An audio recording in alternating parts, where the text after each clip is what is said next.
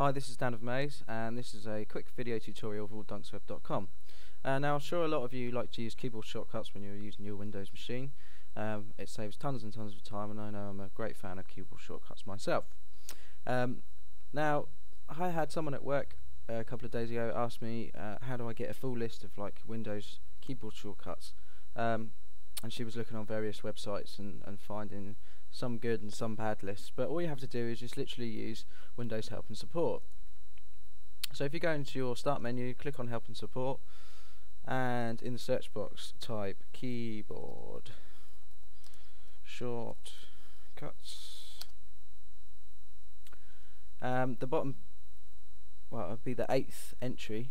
Uh, will be using keyboard shortcuts. So if you click on this, uh, then you'll see another link down the bottom saying full list of keyboard shortcuts in Windows.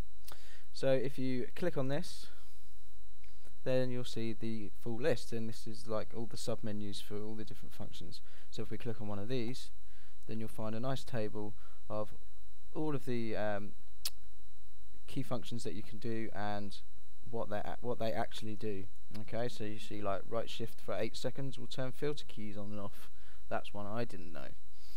So it will have a full list, and there's hundreds of different um, hundreds of different things that you can do on the keyboard with keyboard shortcuts. Um, and I'm sure you will learn at least one thing that you didn't know from looking at this list. So thanks for watching. Please rate, comment, and subscribe.